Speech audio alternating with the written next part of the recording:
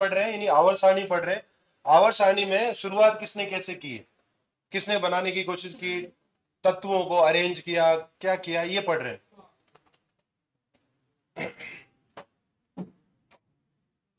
अच्छा ये तब तक सेट करें, तब तक मैं पुराना बता देता हूँ, जो नए हैं उनके लिए। एक बंदा आता, लोथर मेयर। लोथर मेयर ने क्या किया? जितने भी ज्ञात तत्व थे, उनको दो भागों में बांट दिया, धातु, अधातु। ये काम किसने सॉरी क्या बोल दिया मैंने? लोथर मेयर बोल दिया क्या? लेवोसियर लेवोसी उसको बोलते हैं फादर ऑफ़ केमिस्ट्री दो भागों में बांटा, धातु, अधातु। निपट गया वो। उसके बाद दूसरा बंदा कौन सा आता है? प्राउट। प्राउट ने एक परिकल्पना दी थी। वो बोलते हैं, जितने भी तत्व है, ये अलग अलग नहीं बने। हाइड्रोजन मिलते हैं और नए तत्व बनते हैं। सात हाइड्रोजन मिले तो लिथियम बन गया। ग्यारह मिले तो कोई और मिल गया। तेबीस मिले, ग्यारह मिले, बोरोन मिला। तेबीस मिले, सोडियम बना। इस टाइप से बताता गया। कौन? प्राउट तीसरा हेडिंग क्या लिया था? डोबेराइनर। जिसको डोबरीनर भी बोलते हैं हिंदी में। वो बोलता तीन तीन तत्वों के ऐसे समूह होते हैं, जिनके गुण समान होंगे। लेकिन प्रथम तत्व और तीसरे तत्व का अगर भारों का औसत निकाल दो तो दूसरे तत्व के बराबर आ जाएगा उसका भार। ये किसने नियम दिया है? डोबरीनर ने। इस नियम को बोलते हैं, त्रिक का नियम। हो जाएगा। और उसके बाद में फोर्थ हेडिंग आती है न्यूलैंड न्यूलैंड जो बंदा था, उसने दिया अष्टक का नियम। और वो क्या बोल रहा है कि पहले तत्व के गुण आठवें तत्व से समान पाए जाएँगे, यदि तत्वों को उनके परमाणु भारों के बढ़ते क्रम में जमा दिया जाए। ये बंदा कौन सा था? न्यूलैंड। नियम क्या दिया? अष्टक का नियम। हो जाएगा? अच्छा कहाँ तक लागू होता है? कैल्शियम तक। कब ये असफल हो जाता है? अक्रिय गैसों की उपस्थिति में तथा संक्रमण धातुओं की उपस्थिति में फेल हो जाता है। और सबसे लास्ट जो सबसे लास्ट हेडिंग थी कल की, वो थी लोथर मेयर का वक्र। एक बंदा आता लोथर मेयर, वो टेबल बनाने की कोशिश करता है। देखो रियलिटी बताता हूँ रियल में क्या हुआ होगा। ये स्टार्ट हो गया। डन हाँ। रियलिटी बता देता हूँ कि लोथर मेयर अलग देश में काम कर रहा था और एक बंदा हम आगे आगे पढ़ने वाले जो मोस्ट इंपोर्टेंट है मेंडलीव चैप्टर आज से इंपोर्टेंट है यू मान लो। मेंडलीव मेंडलीव अलग देश में काम कर रहा है, लोथर मेयर अलग देश में काम कर रहा है। दोनों अलग अलग तरीके से काम करते जा रहे और सेम निष्कर्ष पे पहुँचे। दोनों के रिज़ल्ट क्या मिले? सेम अब जो लोथर मेयर था, वो ऐसे मान लो कि वो समय को देखता था, अरे मेरा अभी अच्छा वक्त चल रहा है अरे मेरे तो सनी बहुत भारी है। आज नहीं पब्लिश करते, कल करवा देते। वो ये सोचता गया। और मेंडलीव ने क्या किया? जैसे ही रिज़ल्ट मिले, छपवा दिया। जिसका रिज़ल्ट पहले छप गया, उसी का ही माना जाएगा। सही, सीधी सी बात है। जिस बंदे ने, मान लो किसी ने कोई गाना लिखा, जिसने लिखा और जिसने पब्लिश कर दिया, गा दिया, उसी का ही तो गाना है। अब तुम भले कितना ही गा लो तो कॉपी माना जाएगा। तो लोथर मेयर का काम मेंडलीव के काम के जैसा ही था बट लोथर मेयर ने उसको पब्लिश नहीं कराया, इतना फ़ेमस है नहीं, इसलिए उसका सिर्फ़ ग्राफ पढ़ते और ग्राफ क्या बोलता है कि ग्राफ के शीर्ष पे कौन मिला? क्षारीय तत्व। घटते हुए क्रम में कौन मिला? अवरोही क्रम में कौन मिला? क्षारीय मृदा तत्व। अच्छा बढ़ते हुए क्रम में, यानी आरोही क्रम में कौन मिला? हेलोजन। और तल में कौन मिलता है? संक्रमण तत्व बोलो या उप धातुएँ बोल दो। क्लियर रहेगा यहाँ तक पढ़ा था। आज हम हेडिंग लगाते हैं। नेक्स्ट हेडिंग हेडिंग लगाएँगे। मेंडलीव की आवर सारणी मेंडलीव की आवर्त सारणी। ये लो भैया, ये हेडिंग मेंडलीव की आवर्त सारणी।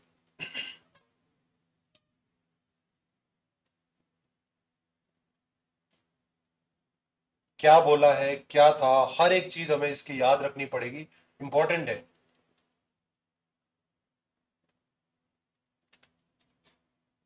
लिखवाता जाता हूँ एक एक पॉइंट जो रटने के, वो तो सीधे रटने हैं, उसमें मैं समझाऊँगा भी क्या।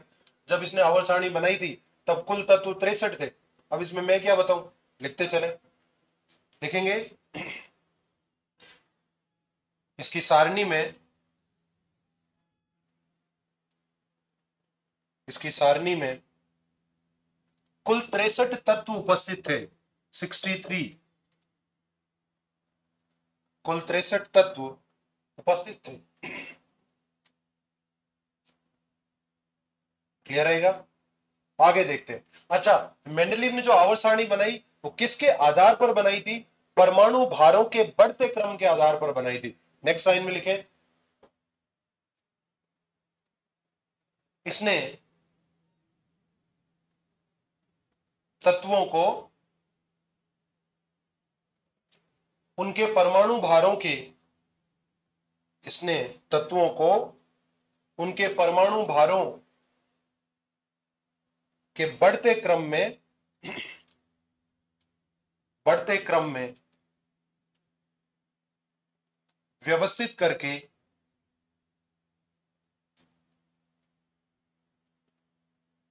सारणी बनाई।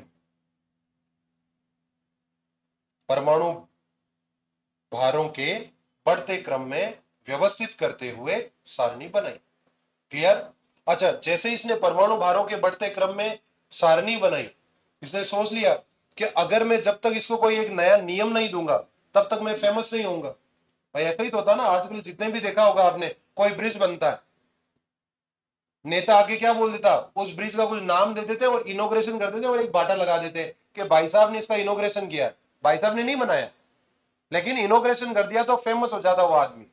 ऐसा ही, ये बंदा पहले से ही जानता फ़ेमस होना है तो अपने नाम से कुछ न कुछ नियम दे दो। तो इस बात का उसने एक नियम दे दिया, और इस नियम को क्या बोल दिया था? मेंडलीव का आवर्त नियम।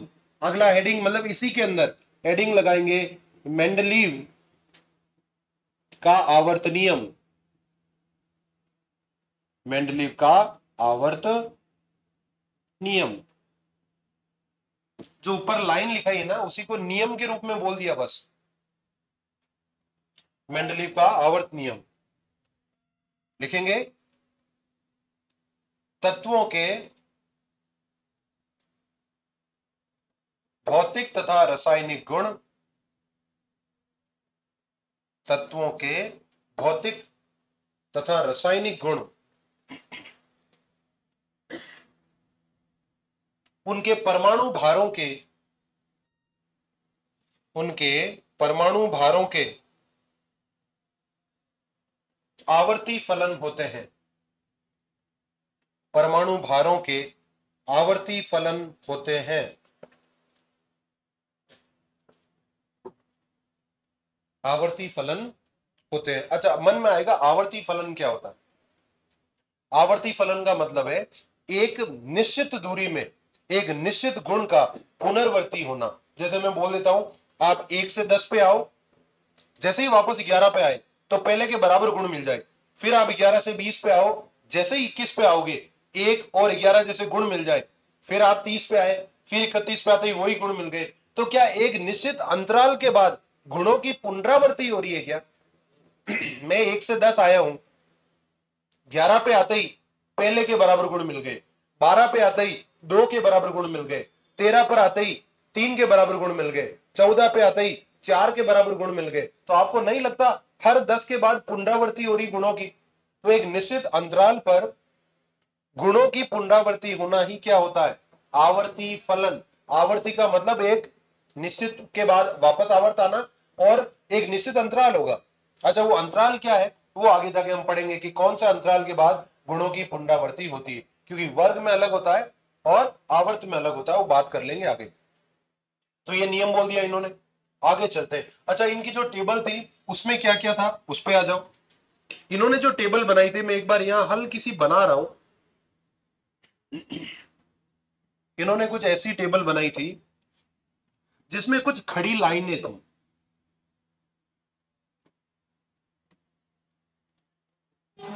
ये लो। इनकी आवर सारणी में कुछ खड़ी लाइनें थी। खड़ी लाइनों को इन्होंने क्या बोल दिया था? वर्ग। इनकी आवर सारणी में कुछ क्षितिज लाइनें थी।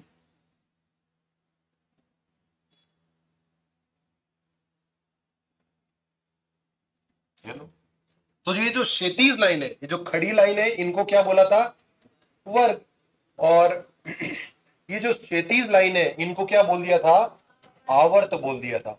अब आपसे पहला चीज़ ये पूछेगा कि मेंडली की आवर्त सारणी में जो खड़ी लाइनें थी, जिनको वर्ग का, ये कुल कितने थे? तो बोलते ये कुल वर्ग थे आठ। लेकिन ये आठ जो वर्ग थे, इनको रोमन में लिखा था। किसमें लिखा है? रोमन में। ये रहा पहला वर्ग, ये रहा दूसरा वर्ग, ये रहा तीसरा वर्ग, ये चौथा, पांचवा, ये छठा, ये सातवां, और फाइनली ये आठवां। आठ वर्ग हो गए क्या? तो बताओ मेंडलीपी सारणी में कितने वर्ग है? आठ। लेकिन एक, दो, तीन, चार, पाँच है, ऐसे नहीं लिए इसने। रोमन में एक, दो, तीन, चार, पाँच, सात यूज़ किया है। क्लियर रहेगा? अच्छा आवर्त कितने हैं? तो बोले आवर्त टोटल सात थे। ये देखो, पहला, दूसरा, तीसरा, चौथा, पांचवा, छठा और ये सातवां। टोटल आवर्त कितने इसमें? सात। क्लियर रहेगा? आगे जाके उसने हर वर्ग को दो भागों में बांटा, आठवें वर्ग को छोड़कर। जैसे ये पहला वर्ग है, इसको दो भागों में बांट दिया। ए और बी में। दूसरे को भी बांट दिया ए और बी में। यानी ये हर वर्ग को कितने भागों में बांटता गया? दो उप वर्गों में बांटता गया। कहाँ तक? सात तक। क्या आठवें को इसने आगे वर्गीकृत किया क्या? नहीं किया। क्लियर हो जाएगा? ये अच्छा इस आवर सारणी में आप अगर एनसीआरटी में देखोगे तो एक नया वर्ग जोड़ा हुआ है। ये मेंडलीव के टाइम में नहीं जुड़ा था। मेंडलीव के जाने के बाद ये जुड़ा है और इस वर्ग को फिर बोल दिया था शून्य वर्ग। वर्ग का नाम क्या दे दिया था? शून्य, ज़ीरो वर्ग बोल दिया था। क्योंकि नौ तो कैसे रखो? इसलिए आपको अगर कोई पूछे कि मेंडलीव की आवर सारणी में वर्ग कितने हैं, नौ मत बोलना, आठ ही बोलना। अब वो आठ कौन कौन से थे? एक से आठ तो उसकी जीते जीते और शून्य वर्ग जोड़ दिया गया उसके मरने के बाद और उसमें क्या आई थी? अक्रिय गैसें आई थी। यदि आपको पूछे कि कौन से तत्व मेंडलिव की आवर सारणी में नहीं थे अक्रिय गैसे मेंडलिव की आवर सारणी में नहीं थी बाद में छोड़ी उस वक्त तो नहीं थी ना। क्लियर आएगा? ये पॉइंट लिख, लिखवा देता हूँ। नेक्स्ट लाइन में लिखेंगे नेक्स्ट पॉइंट लिखे इनकी आवर सारणी में इनकी आवर सारणी में अक्रिय गैसें अनुपस्थित थी।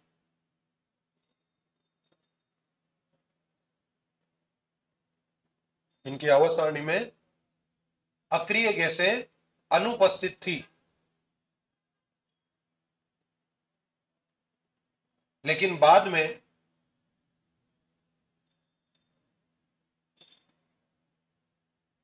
अक्रिय गैसों को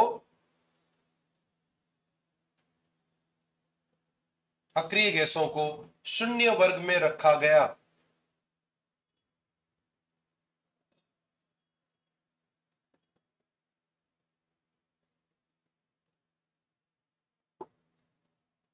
शून्य वर्ग में रखा गया। नेक्स्ट लाइन में लिखेंगे।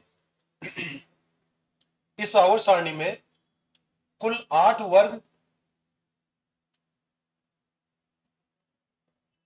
इस आवर सारणी में कुल आठ वर्ग उपस्थित है।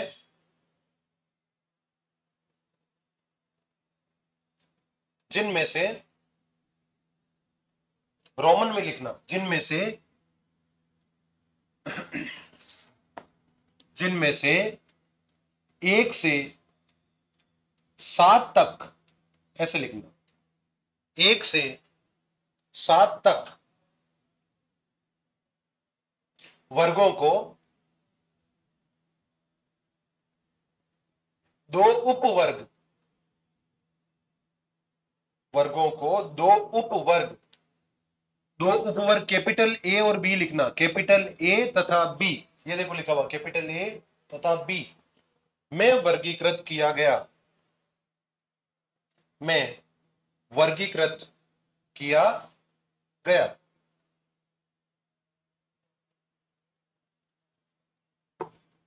में वर्गीकृत किया गया। अच्छा आठवें को इसने वर्गीकृत किया है क्या? नहीं, ध्यान रखना।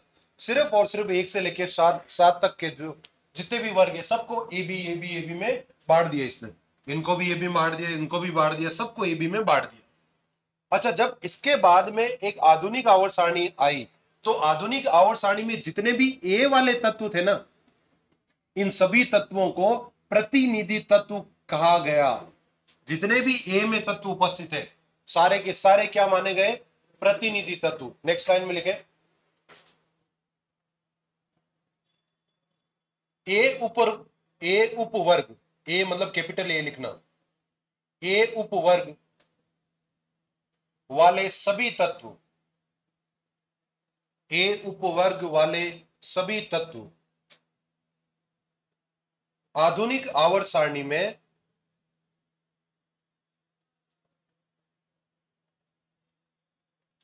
आधुनिक आवर्त सारणी में प्रतिनिधि प्रतिनिधि या सामान्य तत्व कहलाए।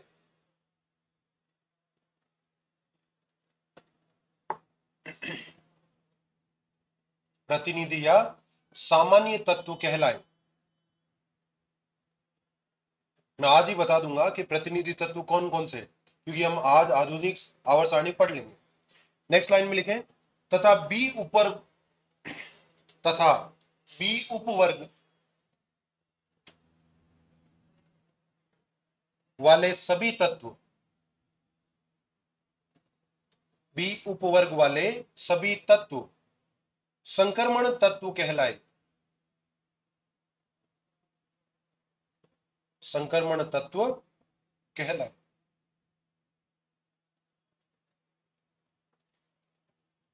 क्लियर? आगे चलते हैं। नेक्स्ट। ये तो बात हो गई उसके आवर सारणी कैसी दिखती है, क्या है, कितने तत्व है, क्या नियम दे दिया, उस पर आ गए अब हम आते हैं इसकी आवर सारणी की कुछ अच्छाइयाँ और कुछ बुराइयों पे आ जाते हैं। सबसे पहले इसकी अच्छाइयाँ बता देते हैं। अच्छाई में देखो, पहली अच्छाई ये थी कि पहला बंदा है जिसने कोई सारणी बनाई अब तक किसी ने सारणी नहीं बनाई क्या लेवोजियर ने सारणी बनाई नहीं। सिर्फ़ दो वर्ग बना दिए। धातु, अधातु। क्या प्राउड ने कोई सारणी बनाई नहीं, बोल रहा सभी हाइड्रोजन से बने हुए। क्या डोबरीना ने कोई सारणी बनाई ना। तीन तीन तत्वों का समूह बना दिया, त्रिक बना दी क्या न्यूलैंड ने सारणी बनाई नहीं। आठ तत्वों को एक साथ रख दिया। फिर नीचे आठ, फिर नीचे आठ, लेकिन बीस तक पहुँचा और वो तत्व भी आगे अरेंज कर नहीं पाया। तो सारणी का रूप दे नहीं पाया। सारणी जैसा लगा हमें रूप नहीं दे पाया। उसके बाद कौन आ गया था? Lothar Meyer. भाई साहब तो सिर्फ़ ग्राफ ही बनाने में रह गए। इससे पहले कि वो टेबल बनाते, कोई और बना के छाप चुका था, अब वो छाप भी दे तो किसी काम का नहीं रहा। और ये पहला बंदा आया जिसने सारणी बनाई और जब भी कोई सारणी बन जाती है तो तत्वों का अध्ययन आसान हो जाता। है क्लियर लिखेंगे हेडिंग अच्छाइयाँ। भाई मेंडली की आवर सारणी पढ़ रहे इसकी अच्छाइयाँ पढ़ लेते हैं। डायरेक्ट हेडिंग लगा दो, अच्छाइयाँ। एडवांटेजेस इसके आवर सारणी के फ़ायदे क्या पहला लिखो अध्ययन में आसानी। अध्ययन में आसानी। भाई, कोई चीज़ टेबल के रूप में होती तो अध्ययन में आसानी हो जाती। आपको मैं पूरी थ्योरी लिखवा दूँ, या एक टेबल बना के बता दूँ, या कोई एक चीज़ है, या कोई दूसरी चीज़ है और अपन तुलना कर ले तो ज़्यादा आसानी तुलनात्मक रूप होता है क्या? बिल्कुल, इसलिए इसने सारणी बनाई तो अध्ययन में आसानी हो गई। अच्छा दूसरा, अब याद करने के लिए बता रहा हूँ, ऐसा कुछ नहीं है। ये एक टाइप का पंडित आदमी था। अपने पंडित नहीं होते, हाथ देख के बता देते कि भाई साहब तो आपका बेटा तो डॉक्टर बनेगा। वो ऐसा बोलता और माँ पागल होके बोरा भर के ला दी ये लो, पंडित जी को दो गेहूँ। पंडित जी गेहूँ लाके चले जाते अगले, उसको पता है नालायक डॉक्टर तो छोड़ो कंपाउंड भी नहीं बनेगा। उसको पता है डॉक्टर बनने में उसको बीस साल लगेंगे। तब तक तो ये माँ तो भूल ही जाएगी कि ये पंडित जी थे क्या? वरना पता पड़े बीस साल बाद मेरा छोरा डॉक्टर बारहवीं पास नहीं हुआ, पंडित को बुलाओ पहले यहाँ। तो ऐसा होता ना, घर पे आप हाथ दिखाते होंगे, बचपन में पापा मैंने दिखाया होगा कि मेरा छोरा क्या बनेगा। हो सकता है किसी पंडित ने बुलाओ और आपका बेटा तो प्रधानमंत्री बन सकता है। तो घर वाले तो खुश हो गए होंगे। ऐसा थोड़ी होता है क्या पंडित जी फेंक रहे हो। बेटे की काबिलियत पे शक थोड़ी करते बेटा बेटी पे। मान लेते हैं और खुश हो जाते हैं। पंडित जी को भी पता है, अपने को मिल रहा है। खुशी चीज़ ही बताओ, क्यों बोलेंगे? और आपका छोरा एक्सीडेंट में निपट जाएगा। ऐसा बोलता कोई पंडित? नहीं बोलता है, उसको पता जूते पड़ेंगे अभी। तो ये भी एक टाइप के पंडित जी थे। इन्होंने क्या किया? टेबल बनाई और बीच बीच में खाली जगह छोड़ दी। तो बोले, यार, टेबल के बीच में खाली जगह क्या करी? लोग आके बोले, तेरे टेबल में खाली जगह क्यों है? बोले, यहाँ नए तत्व आएँगे। तो बोले, डाल ना नए तत्व है। बोले, नहीं, अभी खोजे नहीं गए हैं। खोजे जाएँगे। आगे भविष्य में कुछ तत्व ऐसे खोजे जाएँगे, उनकी जगह में रख रहा हूँ। बोले, वाह पंडित जी, वाह। क्या बात है। आपने पहले से ही पता लगा लिया है, कोई नए तत्व आएँगे। बोले, बिल्कुल। बोले, जब आपको इतना पता है कि कोई नए तत्व आ रहे तो उनका नाम भी पता होगा। बोले, बिल्कुल हमें नाम पता है। देखो, इन्होंने नाम कैसे दिए। कोई वर्ग था एक, जिसके पास यहाँ था बोरोन, यहाँ था एल्यूमिनियम या उसने गैप छोड़ दिया, यहाँ था इंडियम, यहाँ था थेलियम। ये वर्ग तेरह है। आप जब आगे में आधुनिक आवर्साणी पढ़ाऊँगा, याद भी हो जाएगा। यहाँ गैप छोड़ा, यहाँ कोई तत्व था ही नहीं। वो रियल में नहीं खोजा गया था। आगे एक और वर्ग है, चौदवा। उसमें यहाँ था कार्बन, यहाँ था सिलिकन, यहाँ खाली जगह छोड़ दी और यहाँ पे था ये ये लिख दिया। हमें तो इनसे मतलब है। क्या दो खाली जगह छोड़ दी है क्या मेंडलीव ने? बिल्कुल छोड़ दी। लोगों ने पूछा, ये जगह किसके लिए बोले, नया तत्व आएगा। बोले, बहुत बढ़िया। बताओ, इस तत्व का नाम क्या होगा? अब वो नामांकरण कैसे करे, जो पैदा ही नहीं हुआ, उसका नाम कैसे रख दोगे? और अभी आपको कोई पूछे क्या आपके होने वाले बेटे का नाम बताओ, आप हंसोगे नहीं? क्या पागल यार, शादी नहीं हुई अभी तो यार, बच्चे का नाम कहाँ से बताऊँगा? लेकिन मेंडली वैसा नहीं, मेंडली सब बता देता, बोले, बच्चे का, मैं मेरे पोते का नाम बता सकता हूँ यार। बोले, क्या नाम है? इधर उधर देखा, ऊपर कौन है? एल्यूमिनियम। इसका नाम क्या रख दिया इसने? एक्का एल्यूमिनियम। अरे आपने इतिहास पढ़ा है? हिस्ट्री पढ़ी है? हिस्ट्री में आपने देखा, राजा महाराजा होते थे पृथ्वी सिंह राठौड़ और पृथ्वी सिंह चौहान। काफ़ी फ़ेमस राजा है। पृथ्वी सिंह आया, उसके बेटे का नाम कुछ और होता था, फिर उसका जो पोता था, उसका नाम पृथ्वीराज रख देते थे। पृथ्वीराज चौहान पृथ्वीराज चौहान पहला, पृथ्वीराज चौहान दूसरा, ऐसे नाम होते थे ना। मान सिंह प्रथम, मान सिंह सेकेंड जो बहुत ही ज़्यादा पराक्रमी राजा हो जाता था, उसकी पुश्ते ने अपने पापा या दादाजी का नाम यूज़ कर लेती थी। बोले, वो इतना पराक्रमी था तो हमारा पोता भी क्या पता पराक्रमी हो जाए? नाम डाल देते थे क्या? उसको लगा, ये एल्यूमिनियम है, इसका नाम क्या रखे? बोले, एल्यूमिनियम रखूँगा तो लोग जूते मारेंगे, ऊपर वाला कौन है फिर? नीचे कुछ तो चेंज करो। तो वहाँ अपने होता मानसिंह प्रथम मानसिंह द्वितीय, या इन्होंने कर दिया एल्यूमिनियम, एक्का एल्यूमिनियम। बोले, इसका नाम बताओ। अरे बोले, क्या पागल आदमी हो, इसका नाम एक्का सिलिकन हो गई क्या? तो सबसे इंपॉर्टेंट क्वेश्चन यही आता है कि मेंडलीव ने एक्का एल्यूमिनियम किस तत्व का नाम रखा। अब ये तो हमें पता है, एल्यूमिनियम के जो नीचे था, उसका नाम रखा। लेकिन जब ये खोजा गया, जब ये तत्व खोजा गया तो ये तत्व कौन सा था? जी ए जिसे हम बोलते हैं गैलियम। तो बताओ, गैलियम का नाम मेंडलिव ने क्या रखा? एक्का एल्यूमिनियम। ये क्वेश्चन आता है एग्ज़ाम अगला देखो, सिलिकन के नीचे खाली जगह थी, यहाँ एक तत्व बिल्कुल खोजा गया। आया वो तत्व। देखो कितना बड़ा पंडित है ये। और यहाँ जो तत्व आया था, उसका नाम है जर्मेनियम। क्या नाम है? जर्मेनियम। तो आपको पूछ लेता है, एक सिलिकन नाम किस तत्व के द्वारा, किस तत्व के लिए दिया गया? क्या करेंगे? जर्मेनियम। तो समझ गए होंगे मेंडलीव द्वारा दिया गया नाम तथा खोजा गया तत्व कौन सा है? ये टेबल बना दूँ क्या? ये इंपॉर्टेंट चीज़ है क्या? तो समझा मैंने दिया है अब मैं वो लिखवा देता हूँ जो अपने एग्ज़ाम में आता। नेक्स्ट देखो। लाइन लिखते चलो, फिर ये चीज़ें लिखवा देता हूँ। देखेंगे मेंडलीव ने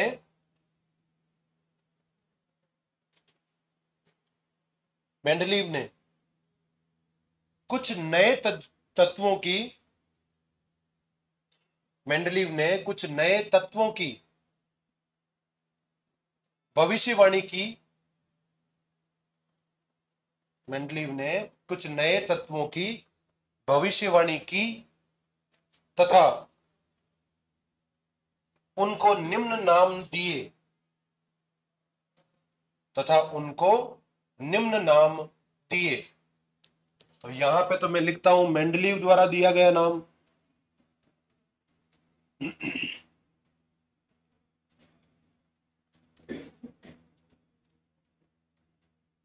और इधर लिख देते, खोजा गया तत्व। खोजा गया तत्व। देखना, दो एलिमेंट याद रखे हमें। पहला हमें याद रखना है, एक का एल्यूमिनियम अक्का एल्यूमिनियम और ये किस तत्व के लिए नाम रखा था इन्होंने? वो रखा था जी ए के लिए। और जी ए को हम क्या बोलते हैं? गैलियम गैलियम और दूसरा नाम हम याद क्या रखेंगे? ए, अच्छा एल्यूमिनियम ए एल होता है क्या? एल्यूमिनियम। दूसरा तत्व था एक्का सिलिकन। एक सिलिकन। अच्छा सिलिकन का सिंबल एस आई होता है क्या? इसके लिए जो तत्व खोजा गया था वो था जीई। इसको बोलते हैं जर्मेनियम। जर्मेनियम।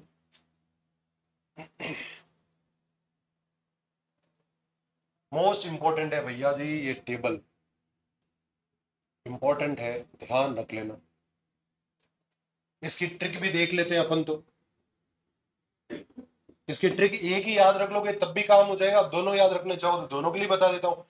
एक ही याद करना है तो होता है, ये देखो सिलिकन के लिए नाम क्या मिला? जर्मेनियम मिला क्या? आपको नाम याद नहीं नहीं रखे सिंबल याद रखो. क्योंकि एग्जामिनर आपको सिंबल देगा, ना कि नाम। तो इसको याद रखने का तरीका है सीता गीता। सीता गीता। देखो, सीता की spelling S I T I होता गया टी ए होता गया, सीता। और Geeta G W T A Geeta. ये क्या हो जाएगा? अलका, गायत्री। अब गायत्री में तो जी ई तो नहीं आ सकता ना, गायत्री में तो जी ए आएगा स्पेलिंग में। देखो तो क्लियर तो एक याद रख लो, तब भी काम हो जाएगा। और दोनों याद रखना चाहो तो यहाँ हो गई सीता गीता। और यहाँ क्या हो जाएगा? एल्यूमिनियम और गैलियम है तो उसके लिए हो जाएगी अलका गायत्री। अब गायत्री मुझे लिखना नहीं आता, आप अपने हिसाब से लिख लेना। अलका भी शायद मैंने गलत लिख दिया होगा। सही लिखा है क्या?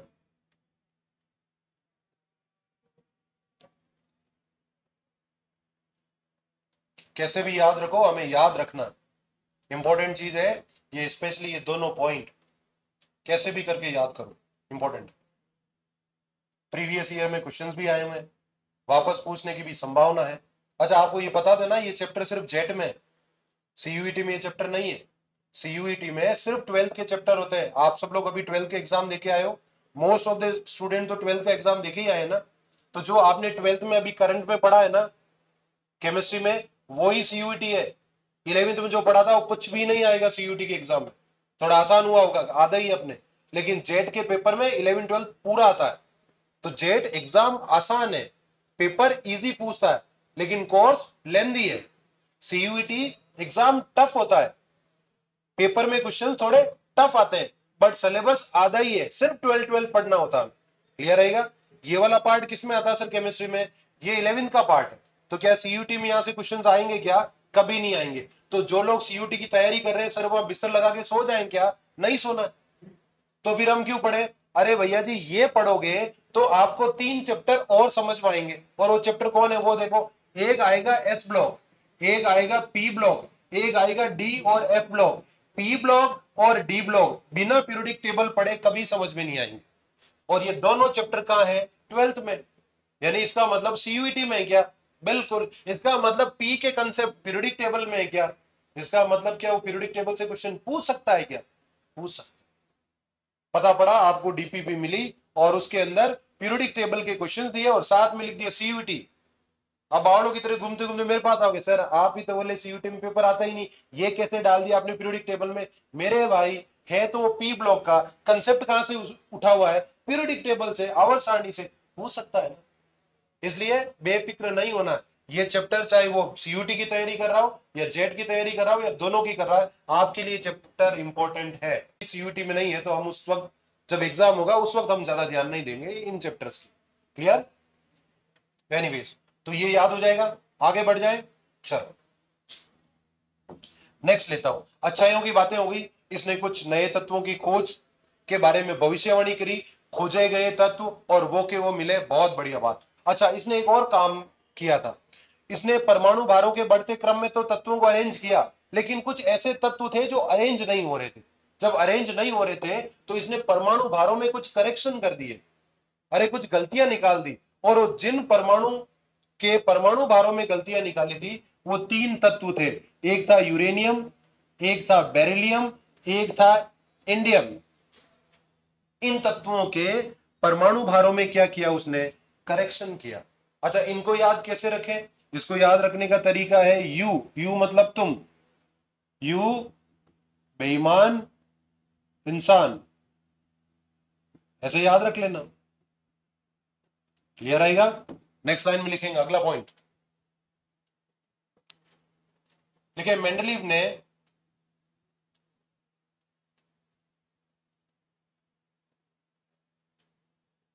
कुछ परम, कुछ तत्वों के मेंडलीव ने कुछ तत्वों के परमाणु भारों में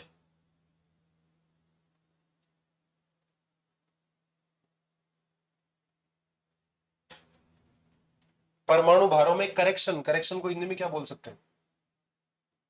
करेक्शन किए। सुधार वेरी गुड परमाणु भारों में सुधार किए, जो निम्न है।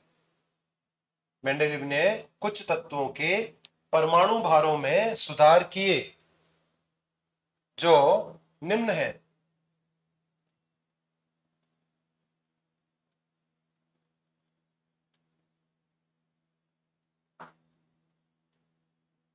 कुछ ऑनलाइन वालों की टेंशन खत्म करते हैं भाई लोग। हाँ एग्रीकल्चर की क्लास कब लगेगी? ये चीज़ आपको यहाँ मैसेज में मिल जाएगा। गुड मॉर्निंग वालों को सबको एक साथ गुड मॉर्निंग है। इंग्लिश में भी चलने दो, चलेगा। आगे बोल रहे हैं, सर एम एन के नीचे टीसी भी आता है बिल्कुल आता है। लेकिन मेंडलीव के टाइम में जो अपनी एनसीआरटी में दिया मैंने वही लिखा है। देखो, मैंने आपको बताया ना, तत्वों को खोजा गया। अब तत्वों को खोजे गए की बात करें तो एक पूरी लिस्ट आती है। अगर मैं मेडिकल पढ़ा रहा होता, अगर नीट पढ़ा रहा होता तो मैं आपको बहुत सारे लिखवाता। मैं बेरिलियम के साथ सिलिकन भी लिखा था एक्का बोरोन किसको बोलते हैं? बोले सिलिकन को बोलते हैं। एक्का एल्यूमिनियम किसको बोलते हैं? बोले गैलियम को बोलते हैं। एक्का सिलिकन किसको बोलते हैं? बोले जर्मेनियम को बोलते हैं। अच्छा एक्का मैग्नीज किसको बोलते हैं? बोले टेक्नीशियम को बोलते हैं। लेकिन आपकी एनसीआरटी में ये नहीं है और ये नहीं है। तो मैंने सिर्फ़ ये दो ही पढ़ा है एग्ज़ाम में आएगा तो यहीं से ही आएगा, यहाँ से आना ही नहीं है। क्यों लिखवाए? क्लियर रहेगा? और कोई ऑनलाइन वाला? बाकी सब निपट चुके हैं। ठीक है। आगे बढ़े। तो ये लिख लो आप। कौन कौन से परमाणु के परमाणु भारों में सुधार किए यूरेनियम, बेरिलियम और इंडियन। इंडियम हो गया। तो इनको याद रखने का ट्रिक क्या है? यू बेईमान इंसान, इससे हमने ट्रिक से याद कर लिया। चलो भैया, आगे बढ़ जाते हैं।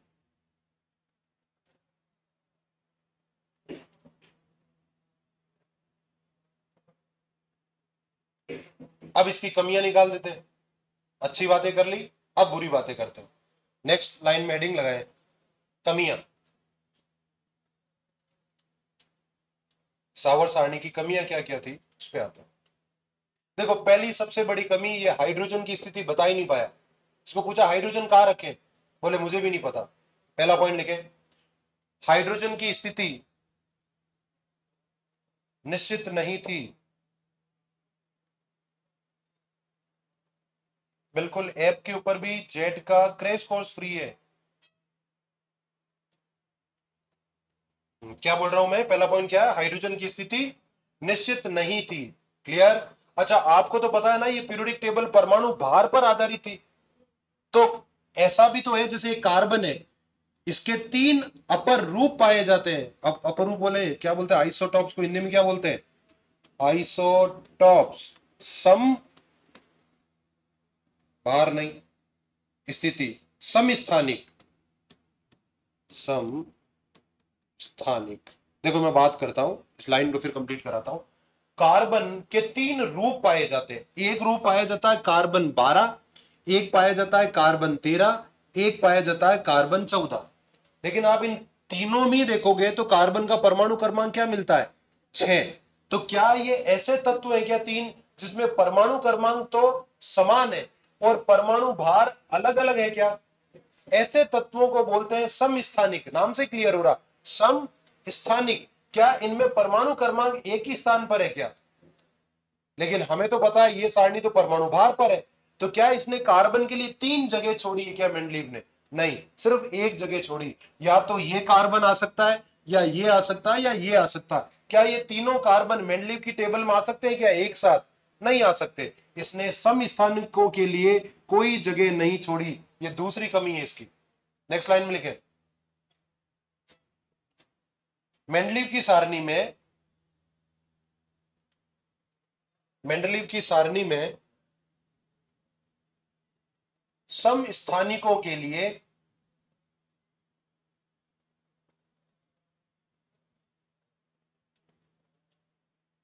सम स्थानिकों के लिए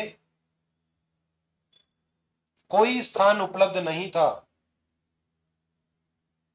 कोई स्थान उपलब्ध नहीं था।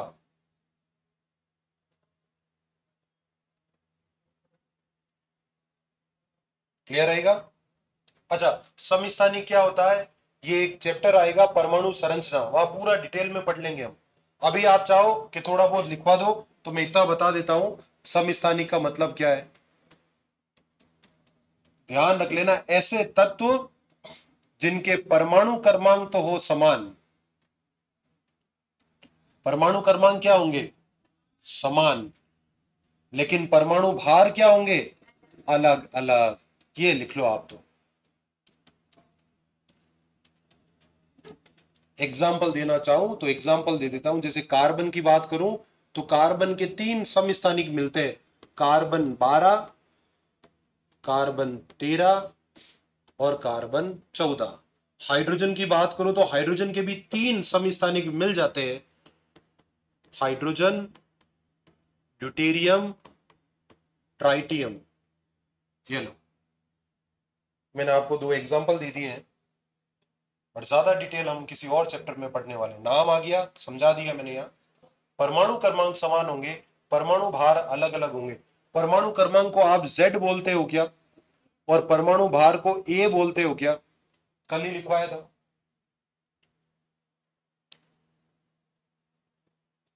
ये जो हम ऊपर लिखते हैं, ये परमाणु भार होते हैं, और जो नीचे की तरफ़ बेस में लिखा हुआ है, ये परमाणु क्रमांक होता है। कल की क्लास में था, और कल की क्लास जिनकी मिस हो गई है, आज जो आए उनके लिए ये रहेगा, सर, हमें कैसे पता पड़ेगा, परमाणु क्रमांक क्या, परमाणु भार क्या? डोंट वरी वही परमाणु संरचना वाला जो चैप्टर आता है, उसमें वापस पूरा का पूरा रिपीट होगा। कोई दिक्कत नहीं रहेगी आगे बढ़े तो पहली कमी हाइड्रोजन की जगह नहीं दूसरी कमी समस्थानी के लिए कोई जगह नहीं। और तीसरी कमी क्या है? इसने बोला था, मेरी आवर सारणी परमाणु भारों के बढ़ते क्रम में है क्या? बिल्कुल, लेकिन कुछ जगह पे इसने परमाणु भारों के बढ़ते क्रम का उपयोग नहीं किया। कुछ तत्वों को पहले रख दिया जिनका परमाणु भार ज़्यादा है, और उसके बाद कुछ ऐसे तत्वों को रखा जिनका परमाणु भार कम है। रूल क्या था? परमाणु भारों के बढ़ते क्रम में जमाएँगे। इसका मतलब पहले कम भार वाला, फिर ज़्यादा फिर ज़्यादा फिर ज़्यादा और फिर सबसे ज़्यादा। लेकिन कहीं कहीं ऐसे असंगत युग्म मिले, जहाँ पे परमाणु भार ज़्यादा वाले को पहले रख दिया, कम वाले को बाद में रख दिया। तो ये असंगत युग्म हो गए क्या? ऐसे युग्म हमारी इस आवर सारणी में मिले। अच्छा पूरी की पूरी आवर सारणी अभी वाली जो लेटेस्ट चल रही है, उसमें से चार ऐसी जगह है जहाँ पे असंगत युग्म है। लेकिन उन चारों में से केवल एक ही असंगत ऐसा युग्म है, जो मेनलिव की सारणी में है। बाकी वाले खोज ही नहीं गए थे, इसलिए हम उसको असंगत मान नहीं सकते। तो मैं चारों लिखवा देता हूँ, और जो इंपॉर्टेंट है, उसको इंपॉर्टेंट करवा देता हूँ। क्लियर रहेगा? नेक्स्ट लाइन में लिखेंगे, अगली कमी। देखिए, इस सारणी में कुछ असंगत युग्म उपस्थित थे। इस सारणी में कुछ असंगत युग्म उपस्थित थे, जिनमें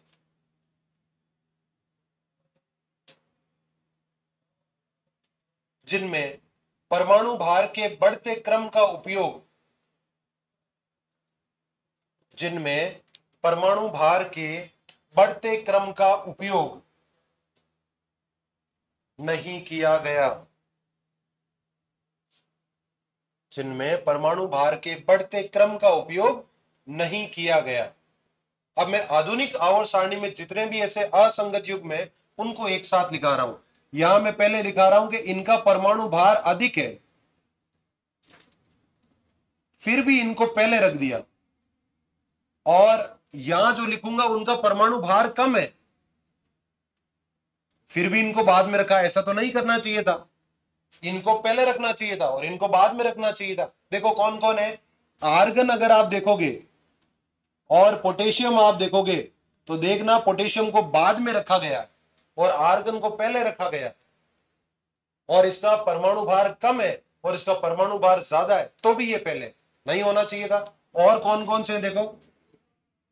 टेल्यूरियम, आयोडीन, ये एक ऐसा क्रम है, इसका परमाणु भार कम है 126.9 है, इसका परमाणु भार 127 है, इसको बाद में होना चाहिए था, लेकिन इसको पहले रख दिया।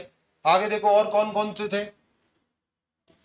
थोरियम प्रोटेक्टीनियम पीओ ये ऐसे जिनमें भी इस क्रम को फॉलो नहीं किया गया।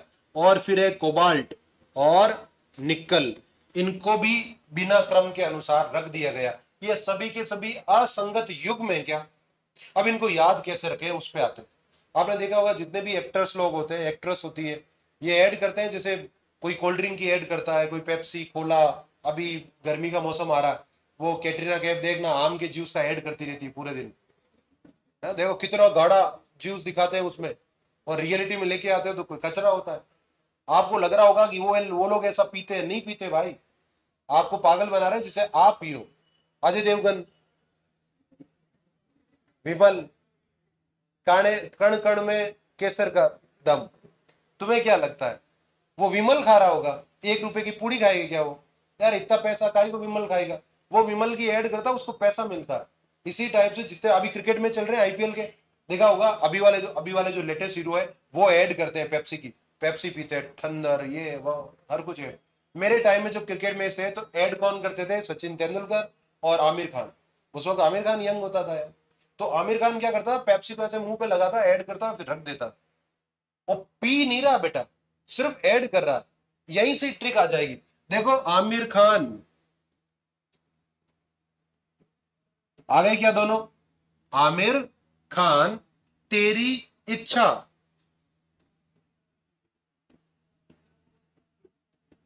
तेरी इच्छा। ठंडा पेप्सी। आप बोलोगे पेप्सी के लिए पी आता पी ओ आ गया। अरे इतना तो याद ही रख लोगे रे। तेरी इच्छा ठंडा। पेप्सी। क्यों नहीं? पीता क्यों नहीं? भाई मुँह पे लगा के क्यों रख रहा है?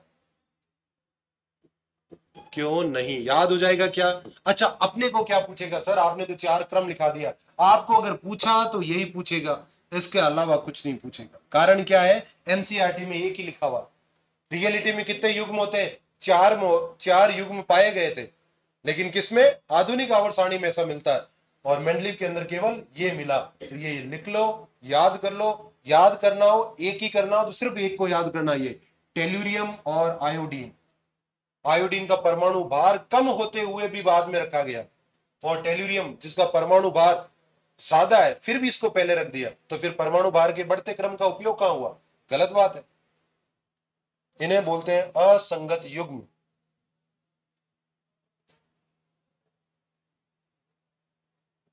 ट्रिक मैंने लिखा दी है।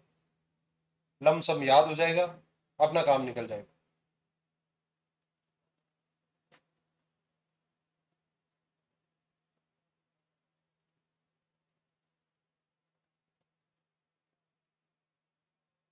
अच्छा इसके अलावा भी सर और कमियाँ थी क्या? इस टेबल की बहुत सारी कमियाँ है। समान गुणों वाले तत्वों को अलग अलग वर्गों में रख दिया गया। अलग अलग गुणों वाले तत्वों को समान वर्ग में रख दिया गया। ये क्यों नहीं लिखवा रहा हूँ? क्योंकि ये क्वेश्चन कभी पूछता ही नहीं है। लिखवाने का कोई फ़ायदा भी नहीं। आगे बढ़े क्या? तो मेनली इसकी जो जो कमियाँ थी, मैंने बता दी है। हाइड्रोजन की जगह निश्चित नहीं है। समस्थानी के लिए जगह नहीं है। और असंगत युग्म इसकी टेबल में उपस्थित थे। बढ़ जाए आगे। ये यहाँ पे मेंडली खत्म हो गया। काफ़ी इंपॉर्टेंट था मेंडली। उसके बाद में आता है मोजले। हेनरी मोजले एक वैज्ञानिक था और उसने फिर एक दिया था एक टेबल। उसको आप, हम मानते हैं आधुनिक आवर सारणी। तो हेडिंग ही सीधी लिखवा दो। आधुनिक आवर सारणी। नेक्स्ट हेडिंग क्या है? आधुनिक आवर्त सारणी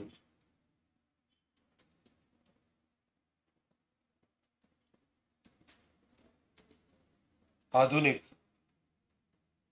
आवर्त सारणी देखो, इसमें काम की बातें क्या क्या है? आधुनिक आवर्त सारणी हेनरी मोजले नाम का एक वैज्ञानिक था, उसने बनाई। अच्छा ये टू कॉपी किसकी नकल करके आया है? मेंडलीव की। मेंडलीव की टेबल में थोड़े बहुत चेंजेस किए और भाई साहब अपनी टेबल बना के चला दिया। क्या चेंजेस किए? अभी मैं बताता हूँ लिटिल बिट छोटे मोटे चेंजेस जो रियल में चेंजेस दिखते भी नहीं है, वैसे चेंजेस करके आए तो वन बाई वन पॉइंट लिखते चलते हैं।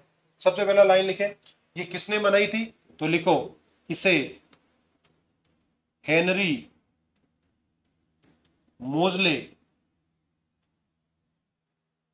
ने बनाया। हेनरी मोजले ने बनाया। अच्छा दूसरा पॉइंट जो मेंडलीव से अलग था, वो क्या था? कि ये परमाणु भार पे नहीं, परमाणु कर्मांक पर आधारित है। हमेशा ध्यान रखना ये पॉइंट नेक्स्ट लाइन में लिखे। यह सारणी परमाणु कर्मांक पर आधारित थी। या आधारित है सॉरी यह सारणी परमाणु कर्मांक पर आधारित है। चलो, आगे बढ़ते हैं। अच्छा अगला पॉइंट ये देखते हैं कि अगर ये परमाणु क्रमांक पर आधारित है तो हेनरी मोजले ने काम क्या किया था, वो देख लो। हेनरी मोजले ने हर एक तत्व लिया, इससे कुछ एक्स रेज को उसने क्या कराया? एमिट करवाया मतलब क्या बोलते हैं उसको? उत्सर्जित करवाया।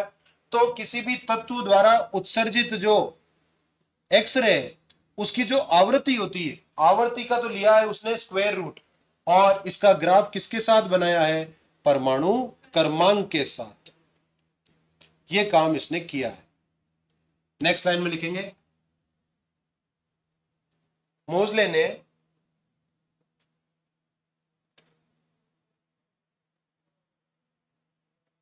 परमाणु कर्मांक तथा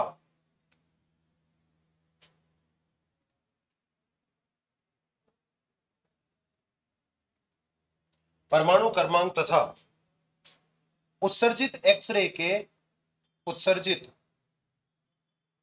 उत्सर्जित एक्स किरण की आवृत्ति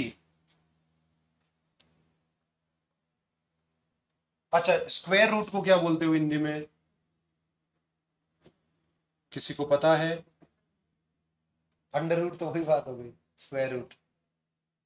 क्योंकि ये कुछ ऐसी हिंदी है जो मुझे नहीं पता है। कोई है जो हिंदी पता हो? स्क्वायर रूट नहीं पता।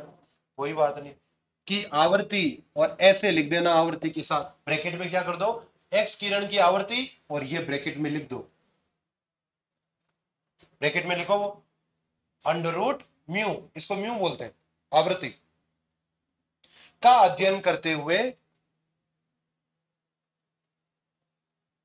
का अध्ययन करते हुए सारणी बनाई। क्योंकि हो सकता है, कभी आपसे यह पूछ ले कि उसने परमाणु क्रमांक के साथ किसका उपयोग किया? तो ध्यान रखना एक्स किरण की जो आवृत्ति होती है, उसके स्क्वायर रूट का उपयोग किया था। वो आपको यहाँ पे दे सकता है एक्सरे की आवृत्ति का स्क्वायर रूट और परमाणु भार। गलत है। स्क्वायर रूट ऑफ़ आवृत्ति और परमाणु क्रमांक सही बात है। फिर बोल देगा गलनांक और परमाणु क्रमांक गलत बात है। गलनांक और परमाणु भार गलत बात। क्लियर रहेगा? बोल सकता है मोजले ने निम्न में से किस आधार पर अपनी आवर सारणी बनाई? परमाणु क्रमांक, परमाणु भार। काट दो दोनों। परमाणु क्रमांक एक्स रे की आवृत्ति का स्क्वायर रूट सही बात है। परमाणु भार और एक्स रे की आवृत्ति का स्क्वायर रूट काट दो क्योंकि परमाणु भार नहीं, परमाणु क्रमांक है। पता पड़ जाएगा? ये बहुत टफ वाला क्वेश्चन बताया मैंने। लेकिन जेट में तो टफ भी नहीं आते। लेकिन लाइन हमने ध्यान रखनी। क्लियर रहेगा? आगे चलते हैं। अब देखते हैं इसने कॉपी कैसे किया है मेंडलीव को। मेंडलीव ने क्या बोला? कितने आवर्त है यहाँ? सात आवर्त है क्या? ये भी बोलता है मेरी भी आवर्त सारणी में सात आवर्त है अच्छा मेंडलीव के वर्ग कितने थे? आठ थे क्या? और आपको पता है मेंडलीव के जाने के बाद एक शून्य वर्ग और जुड़ गया क्या? इसने बस और बस रोमन को हटाकर अरेबिक वर्ड यूज़ किए। यानी अभी आप आवर्त को कैसे लिखते आए थे? सॉरी आवर्त को तो आपने वन टू थ्री फोर लिखते हुए लेकिन वर्ग को आप अभी कैसे लिख रहे थे? एक, दो, तीन, ऐसे लिख रहे थे क्या? मोजले क्या बोल रहा? वर्ग ऐसे लिख दो। एक, दो, तीन, चार, ऐसे लिखता गया। तो पागल बना रहा है। नाम ही तो चेंज कर रहा है उसका। अरे बाकी चीज़ तो वही है। अरे अपने योगी जी है, नाम ही तो बदल रहे। जो काम पहले से हो चुका है, उसका नाम बदल दो। काम हो गया। तो ये देखो, ये पहले से पता था। एक रोमन में यूज़ कर रहा था। अभी अरेबिक में यूज़ कर रहा है। तो इसके भी वर्ग कितने?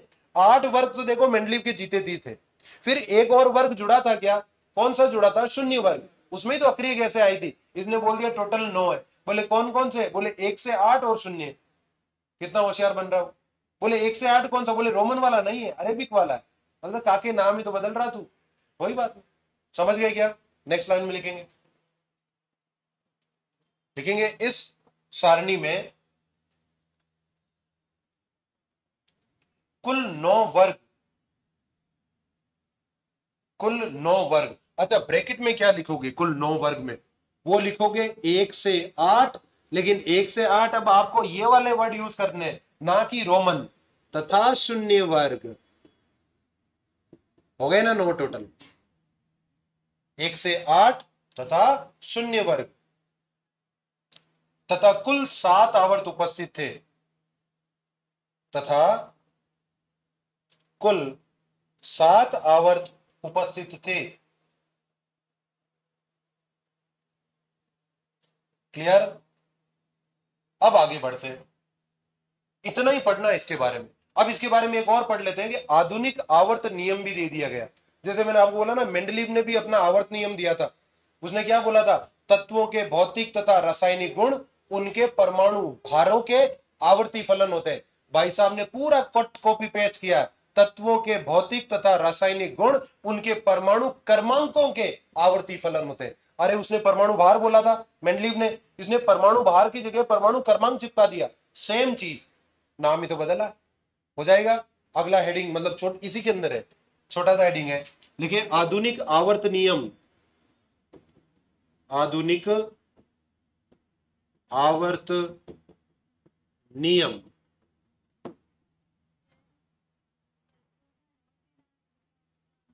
हाँ? वो आधुनिक आवर्त सारणी थोड़ी है, वो तो लॉन्ग फॉर्म है, दीर्घ रूप है उसका। वो मोजने नहीं दी। चार वैज्ञानिकों ने मिलकर दी थी। लिखवाऊँगा अब आने वाला आगे। क्या लिखेंगे? आधुनिक आवर्त नियम।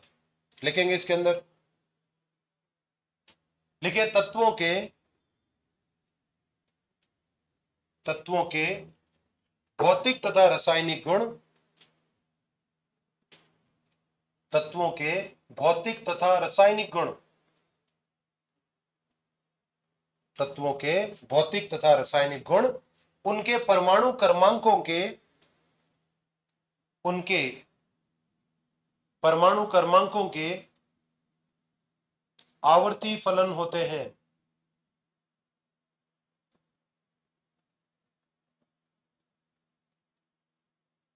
आवर्ती फलन होते हैं। क्लियर रहेगा परमाणु भार की जगह परमाणु क्रमांक कर दिया। चलो, ये आधुनिक आवर्त सारणी थी। अब जो हम लोग अभी जो टेबल देख रहे हैं, किसी ने पीरियडिक टेबल देखी हो, नहीं भी देखी, या तो आज या मंडे को आपको एक प्रिंटेड कॉपी मिल जाएगी, एक पेज मिल जाएगा। हम लोग तो हम, वैसे तो कोशिश करना कि आप ये आवर्त सारणी खुद अपनी कॉपी में बनाए। लेकिन अगर कोई नहीं बनाना चाह रहा है तो एटलीस्ट वो जो पेज आपको मिलेगा, वो चिपका ज़रूर लेना आप अपनी कॉपी में, वरना काम चलेगा नहीं। वो एनी हाउ रटना पड़ेगा। अच्छा वो टेबल आज अगर बन जाएगी तो कल हम लोग क्या करेंगे? मैं उसको रटने के ट्रिक्स बता दूँगा तो वो हमें आधुनिक आवर सारणी पूरी पूरी रट रट भी जाएगी।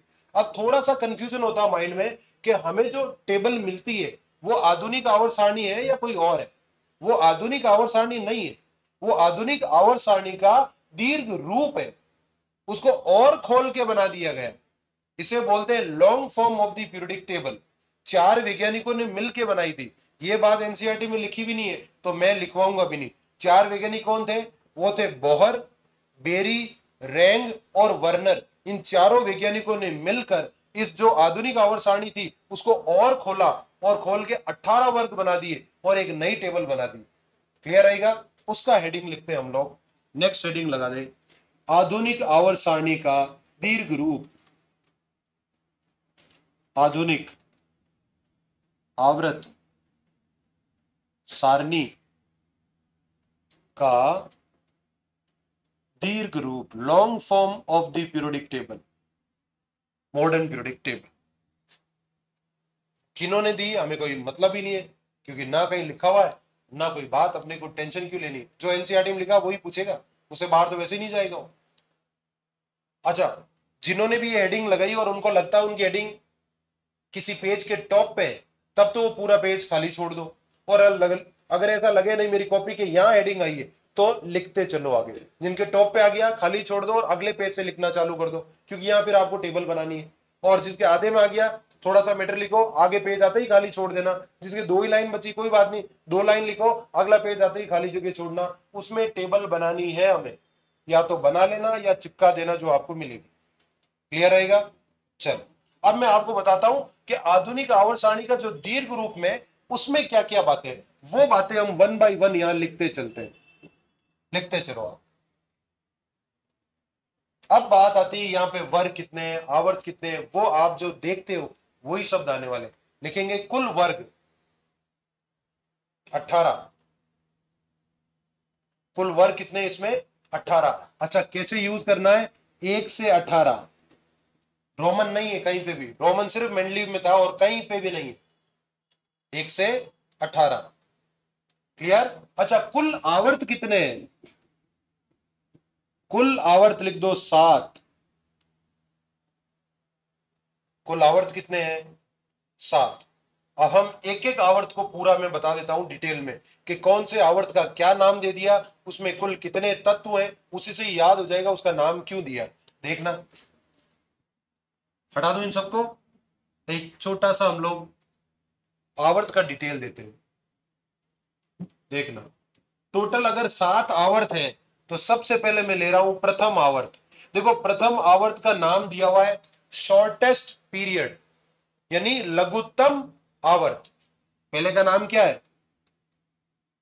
लघुतम आवर्त। अच्छा इसका नाम लघुतम आवर्त क्यों दिया गया है? क्योंकि यहाँ पे कुल तत्व कितने हैं? इस आवर्त में केवल और केवल कुल तत्व कितने मिलेंगे? दो ही मिलेंगे। जिस पूरे आवर्त में दो ही तत्व है तो सबसे छोटा ही हुआ ना। शॉर्टेस्ट पीरियड हो गया ये। दूसरा देखो सेकंड जो आवर्त होता है, इसमें कुल तत्व मिलेंगे आपको आठ। क्या दो से ज़्यादा मिले क्या? तो ये लघुतम तो नहीं रहा, ये होता प्रथम लघु आवर्त। इसका नाम क्या देते हैं? फ़र्स्ट लघु आवर्त। कितने तत्व मिलेंगे? आठ। अच्छा इसको फ़र्स्ट सेकंड क्यों बोल रहे हैं? क्योंकि जो तीसरा आवर्त है ना इसमें भी कुल कितने तत्व मिलते हैं? आठ ही मिलते हैं। तो दोनों को लघु बोलता तो मामला गड़बड़ हो जाता। इसको बोल दिया प्रथम लघु, इसको बोल देंगे द्वितीय लघु। इसका नाम क्या हो गया है? सेकंड लघु आवर्त। कुल तत्व कितने इसमें? आठ तत्व है। अब देखो, चौथा और पांचवा सेम वही बात। चौथा और पांचवे को देखो। चौथे का नाम क्या है? फ़र्स्ट दीर्घ आवर्त। अच्छा इसको दीर्घ क्यों बोला? क्योंकि इसमें और भी ज़्यादा तत्व हो गए। कितने तत्व आ जाते हैं? अठारह। अच्छा पांचवे को नाम क्या दिया है? सेकंड, दीर्घ, आवर्त। क्यों बोला? क्योंकि इसमें भी कितने अठारह ही है। आगे चलो, छठे पे। देखो, छठे आवर्त को क्या बोलते हैं?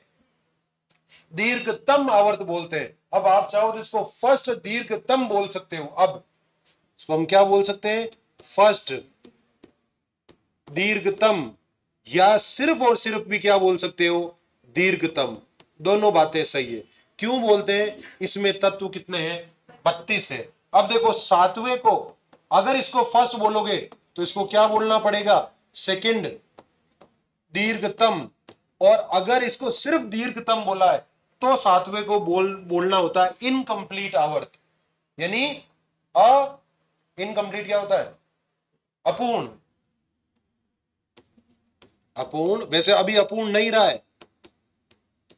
लेकिन अपनी एनसीआरटी अभी भी अपडेट तो हुई नहीं है। आपकी एनसीआरटी में जाके चेक करोगे ना तो कुछ तत्व नीचे वाले जो है ना, खाली छोड़े हुए अठारह तक के पूरे नहीं लिखे, पुरानी एनसीआरटी में। और जब पुरानी एनसीआरटी में कुछ तत्व खाली छोड़े गए तो सातवें तत्व को, सातवें आवर्त को मैं अपूर्ण बोल सकता हूँ ना।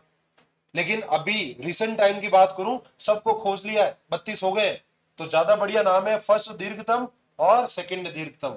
अब यहाँ से क्वेश्चन क्या बनेगा सर वो डायट बोलेगा आपको, चौथे आवर्त में कुल तत्व हो सकते हैं। दो, आठ, अठारह, बत्तीस। बस, यहीं से तो निकलेगा क्वेश्चन उतार लो ये चीज़। ध्यान रख लेना इस चीज़ को।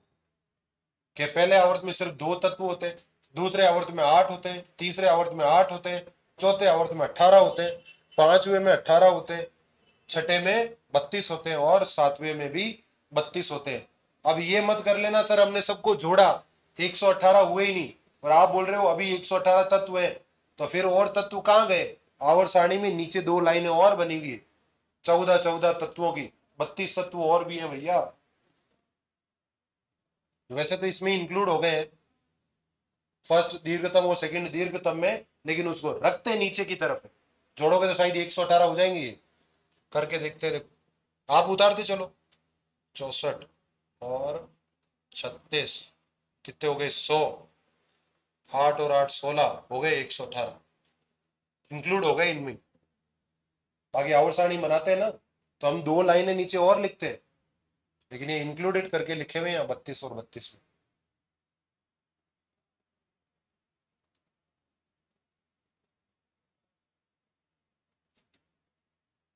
टोटल कुल तत्व कितने हैं? 118 ये लो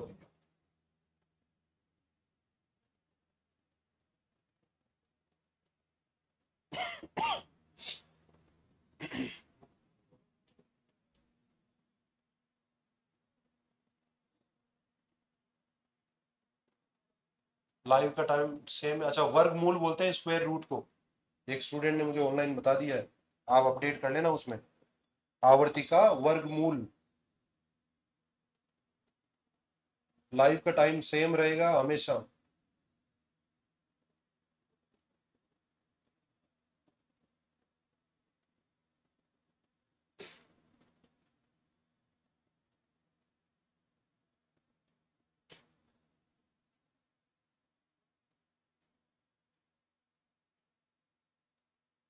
बिल्कुल ये सही बात है, नील बोर, रेन, रेंग है वो, रेन नहीं है, रेंग।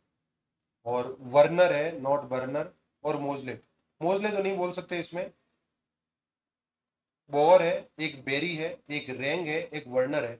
मोजले साहब को नाम दे सकते हो चाहो तो लेकिन मोजले ने सिर्फ़ आधुनिक आवाज़ दी है. दीर्घ ग्रुप चार लोगों ने अलग दिया.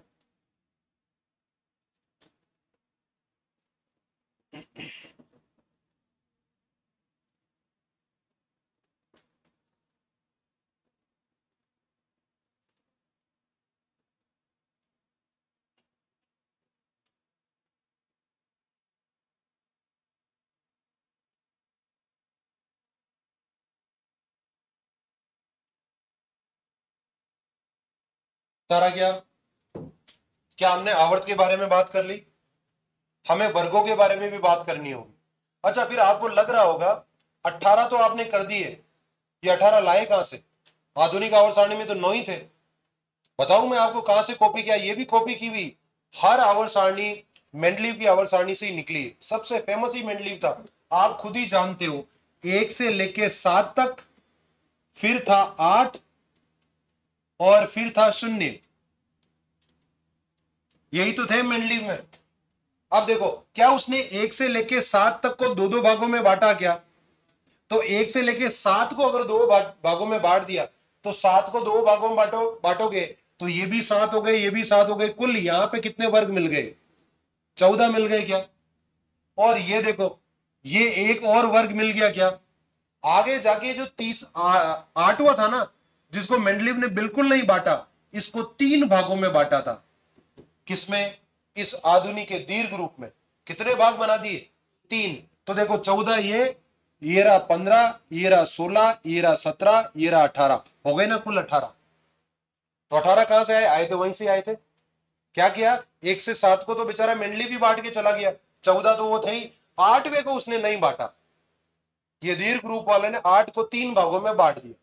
नाम क्या दिया? कुछ नहीं दिया। सीधा आपने तो एक से अठारह यूज़ किया उन्होंने। तो आपको मिल गया चौदह के बाद पंद्रह, सोलह, सत्रह। हो गए सत्रह। और शून्य वाले को क्या नाम दे दिया? अठारह। खत्म हो गया। क्लियर अठारह कैसे आए? पता पड़ गया ना? कहीं कहीं से कहाँ से कॉपी किया इन्होंने? मेंडलीव से कॉपी किया। है हो जाएगा? अच्छा मेंडलीव ने बोला परमाणु भार। मोजले ने थोड़ा चेंज किया। क्या बोला? परमाणु क्रमांक अच्छा इन्होंने इसी की कॉपी की। अगर ये परमाणु क्रमांक बोल देगा तो इनको सुनेगा कौन? इन्होंने नाम दे दिया इलेक्ट्रॉनीय विन्यास अगर आपको कोई पूछे, दीर्घ रूप की जो आवर्त सारणी है, वो किस पर आधारित है? इलेक्ट्रॉनीय विन्यास के आधार पर। क्लियर रहेगा? नेक्स्ट लाइन में लिखे।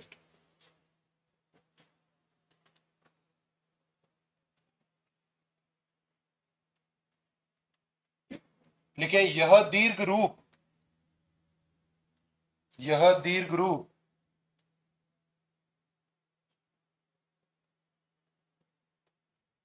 इलेक्ट्रॉनीय विन्यास के आधार पर बनाया गया। यह दीर्घ रूप इलेक्ट्रॉनीय विन्यास के आधार पर बनाया गया।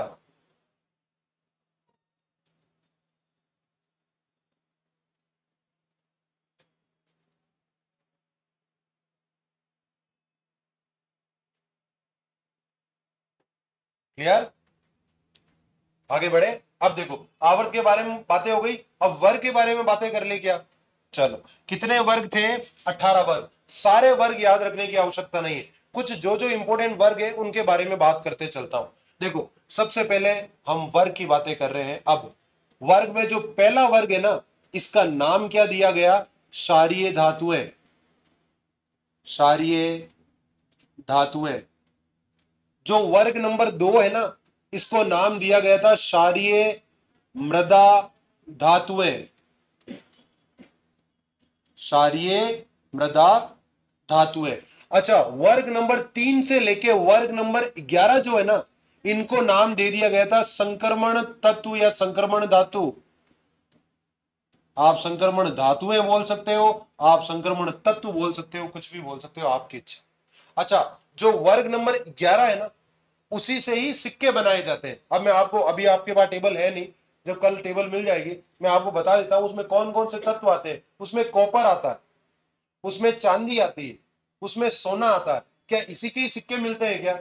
अरे, चांदी का सिक्का, सोने का सिक्का ही तो रखते हैं, लोहे का सिक्का कोई रखता है क्या? नहीं तो जो वर्ग ग्यारह है, इसको क्या बोलते हैं? सिक्का धातु वर्ग। यह है सिक्का धातु वर्ग। क्लियर? अच्छा जो वर्ग नंबर बारह है ना, इसमें मैं बता देता हूँ कौन कौन सी धातुएँ आती है। इसमें धातुएँ मिलेगी जिंक, इसमें धातु होगी कैडमियम, इसमें धातु होगी मर्क्यूरी। अच्छा जो ये मरकरी है ना, इसको आप हिंदी में बोलते हो पारा। जानते हो ना? पारा।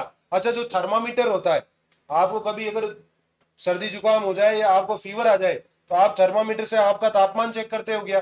कैसे तापमान पता पड़ता है कि जो मर्क्यूरी है, वो एक्सपेंड करता है क्या? अरे वो लिक्विड में इसीलिए तो ऊपर चढ़ रहा है। जितना ऊपर चढ़ा, वो तापमान बता देगा। तो क्या ये धातु द्रव में उपस्थित है क्या? सोचो, धातु द्रव में उपस्थित है।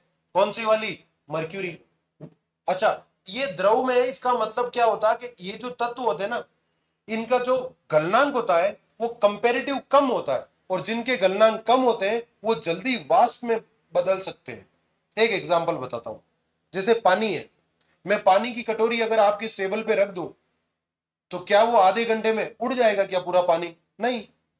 लेकिन अगर मैं पेट्रोल रख दूँ आपके यहाँ एक कटोरी में, क्या पेट्रोल उड़ जाएगा क्या?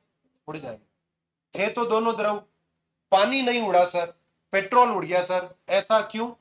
इसका मतलब है, जो पेट्रोल था, उसका क्वथनांक क्या है? कम है। जिनके क्वथनांक कम होते हैं वो जल्दी उड़ जाते हैं। वो जो जल्दी उड़ जाते हैं, उन्हें बोलते हैं वाष्पशील पदार्थ इसका मतलब ये तीनों धातु को आप वाष्पशील जैसा मान सकते हो क्या? बाकी की तुलना में बिल्कुल मान सकते हैं। इसलिए वर्ग बारह को बोलते हैं वाष्पशील धातु वर्ग। क्लियर रहेगा? उसके बाद में देखो, जो तेरवा वर्ग है उसमें बोरोन आता है सबसे ऊपर, इसलिए उसको बोल देते हैं बोरोन परिवार। उसके आगे जो चौदवा वर्ग है, उसमें सबसे ऊपर आता कार्बन, इसलिए उसको बोल देते हैं कार्बन परिवार। अरे, ऐसा ही तो होता है। आप वही गाँव में जाओ, किसी घर में शादी हो, मान लो वो चौधरी है, उनके घर के बाहर नहीं लिखा होता, चौधरी परिवार आपका हार्दिक स्वागत करता है। लिखते हैं ना? अब चौधरी परिवार का मतलब है, अंदर जो भी है, सारे चौधरी साहब है। तो इनका देखो, सबसे ऊपर कौन है? बोरोन। बोरोन हो गया इनका लीडर। तो बाकी नीचे कौन है? कोई नहीं पूछा बोले, तुम सब कौन? बोले, बोरोन परिवार आपका हार्दिक स्वागत करता आओ कभी। तो कार्बन था तो कार्बन परिवार। नाइट्रोजन था तो नाइट्रोजन परिवार। ऑक्सीजन है तो ऑक्सीजन परिवार। हेलोजन, सॉरी, फ्लोरीन है तो फ्लोरीन परिवार। और सबसे लास्ट में अठारवा वर्ग होता अक्रिय गैसों का। लेकिन हेलोजन वाले जो फ्लोरीन, क्लोरीन, ब्रोमीन, आयोडीन है, वो बोलते नहीं, हम एक और नाम रखेंगे।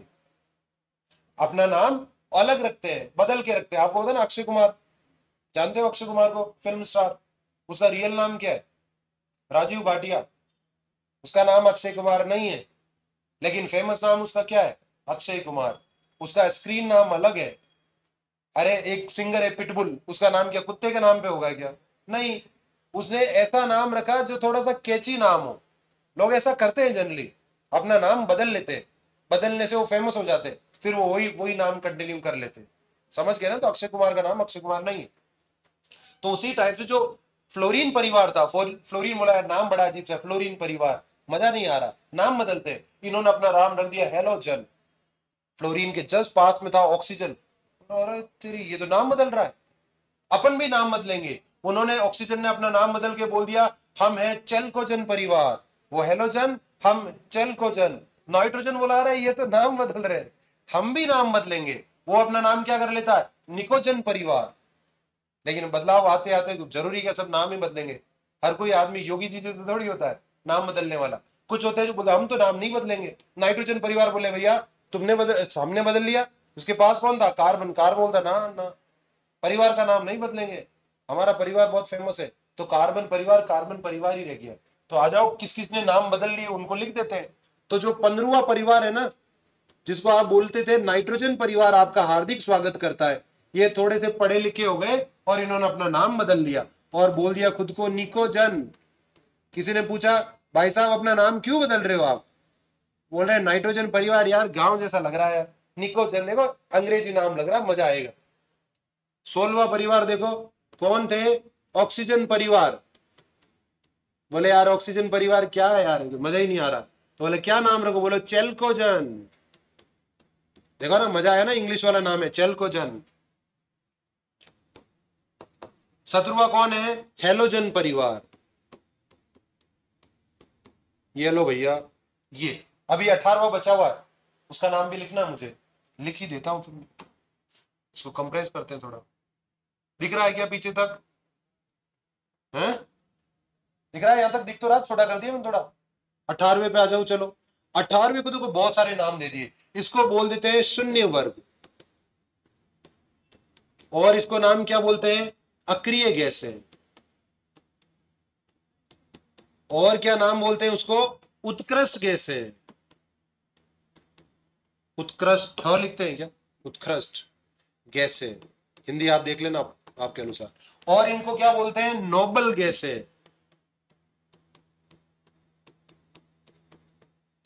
ये लो भैया, ये उतारो आप। ये वर्गों को निपटा दिया मैंने। पहले वर्ग का नाम है शारीय धातु, दूसरे वर्ग का नाम है शारीय मृदा धातु। एग्जामिनर डायरेक्ट ही बोल देगा, शारीय मृदा धातु वर्ग है, पहला, आठवा, दूसरा, तेरवा। दूसरे पे टिक कर दिया, हो गया, अपने चार नंबर आ गए। समझ गए ना? इसलिए याद रखने पड़ेंगे आप। इनमें से ज़्यादा इंपॉर्टेंट कौन है? ये शुरुआत वाले दोनों बहुत ज़्यादा इंपॉर्टेंट है। क्षारीय धातु और क्षारीय मृदा धातु किसी भी हालत में याद होने चाहिए। इसके अलावा अठारहवा वाला याद कर लेना। बाकी धीरे धीरे याद होते जाएँगे। हेलोजन, वेलोजन तो वैसे भी याद हो जाएँगे। आज के लिए सिक्का धातु वर्ग और वाष्पचिल धातु वर्ग पूछते नहीं है। बहुत समय पहले पूछा करते थे। अब चांसेस थोड़े धीरे, कम कम हो।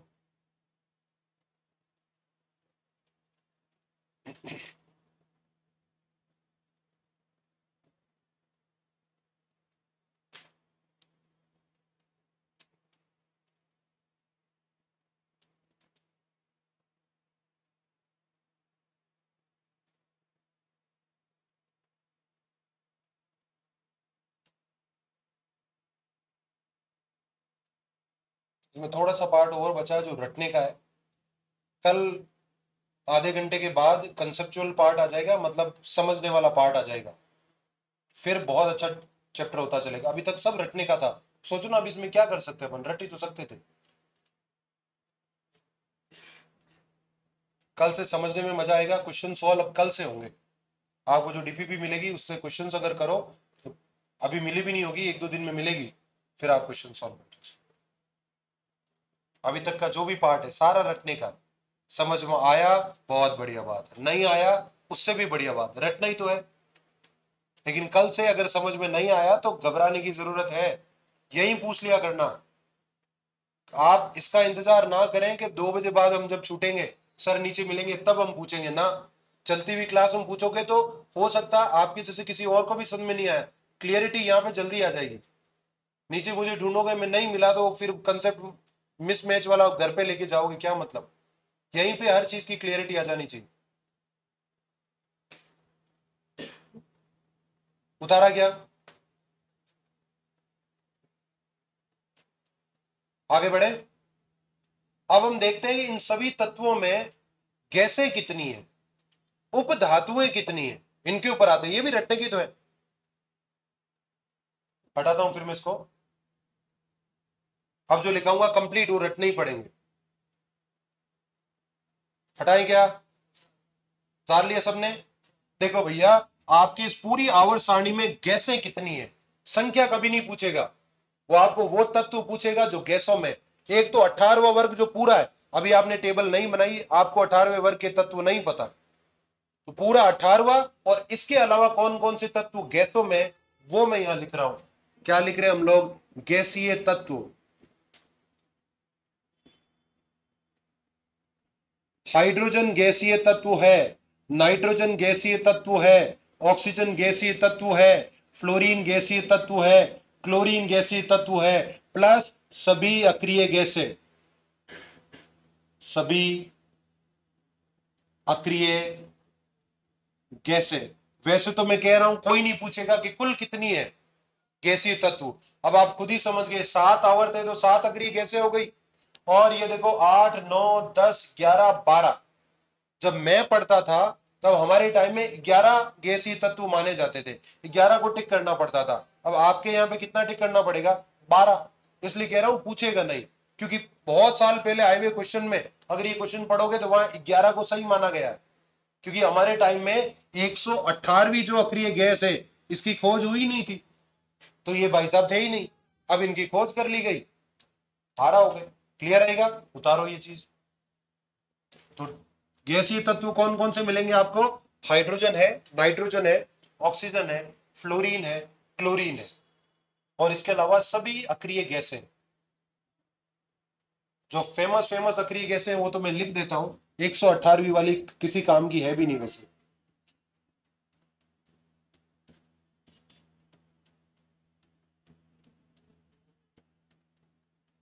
ये लो भैया, ये मैंने छह अक्रिय गैसें यहाँ लिखी है। एक सौ अठारहवीं वाली मैंने नहीं लिखी।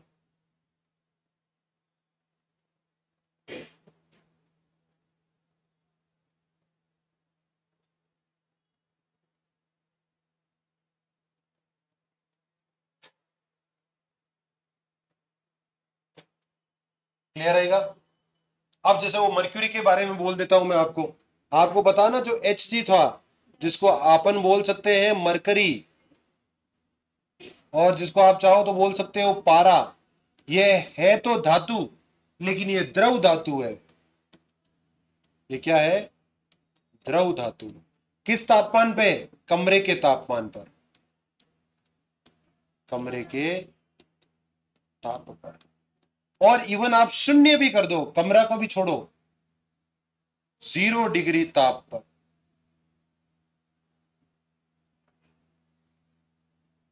एक मिनट आप ज़ीरो डिग्री भी ले लोगे ना, बहुत ज़्यादा ठंडा तापमान ले लोगे, तब भी ये द्रव में रहता है। ऐसी धातु है कौन? मरकरी। ये उतारो। एच जी जिसको आप मरकरी बोल सकते हैं, पारा बोल सकते हैं, ये कमरे के ताप पर तो है ही है, द्रव। ज़ीरो डिग्री भी कर दोगे ना, तब भी द्रव में रहेगा। जैसे पानी नहीं होता, अभी कमरे के ताप पर क्या है? द्रव में, मैं ज़ीरो डिग्री कर दूँगा तो बर्फ़ में बदल जाता है क्या? ठोस हो जाता है क्या? मरकरी ठोस नहीं होती। ये उसमें ही रहेगी। इसलिए चाहे कितनी भी ठंड हो जाए, आप अपने शरीर का तापमान थर्मामीटर से नाप सकते हो क्या? कश्मीर में भी लोग अपना तापमान तो नाप रहे होंगे, वहाँ तो तापमान माइनस पाँच भी चला जाता है माइनस दस भी हो जाता। फिर भी तो अपने शरीर का तापमान देख लेते हैं ना। इसका मतलब पारा ज़ीरो डिग्री ताप ले लो या उससे कम भी ले लो, तब भी किसमें रहेगा? द्रव में। और भी बहुत सारी रटने की चीज़ें हैं, जिसे और कितने सारे तत्व है जो द्रव में एक तो मैंने लिख दिया जो इंपॉर्टेंट वाले इसके अलावा भी छह तत्व और है, जो आपको किसमें मिलते हैं? द्रव के अंदर मिलते हैं। वो एक बार मैं चलो लिखवा देता हूँ, फिर इसको फिनिश करते हैं। ये उतार लिया ना मर्क्यूरी वाला? आगे चले।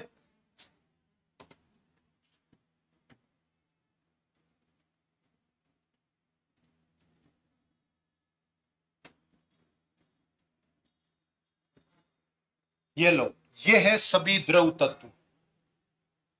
इस पूरी आवर सारणी में जितने भी द्रव तत्व है, मैंने सारे के सारे एक जगह पे लिख दिए। कौन कौन है वो? गैलियम, द्रव में है, ब्रोमीन, द्रव में है, सीजियम, द्रव में है, पेंशियम, द्रव में माना जाएगा। मर्क्यूरी, द्रव है, और सीएन ये 112 नंबर तत्व है जो अभी रिसेंटली खोजा गया है। हमारे टाइम में नहीं था। क्लियर ये लो। ये उदाहरण आज यहीं तक रखते हैं ये सब रटने के आपको रटने पड़ेंगे।